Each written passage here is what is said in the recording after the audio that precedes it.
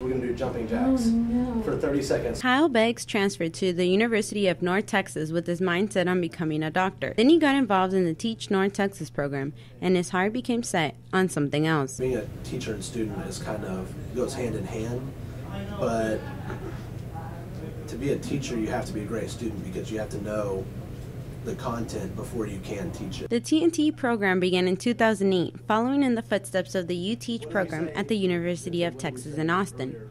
The goal is to produce better teachers in math and science by giving them firsthand experience teaching K to 12 grade levels. Right now, we um, our school systems are plagued by teachers who don't know effective teaching techniques, um, and so that's where we come in. Because of enrollment increase, TNT students now fill this classroom. Its first year, only five students were enrolled in the program and graduated in 2010. Initially, there were three to four math teachers graduating every year. There were no science teachers. TNT is hoping to produce about 40 teachers each year with the success they've been having.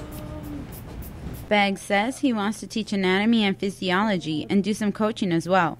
He hopes to become an influential factor in his future students' lives. We're going to affect them, you know, 20 years down the road. You know, I still remember stuff that teachers told me. TNT officials encourage students to pursue a teaching career, and they offer a $10,000 scholarship to those who teach in a high needs area for two years.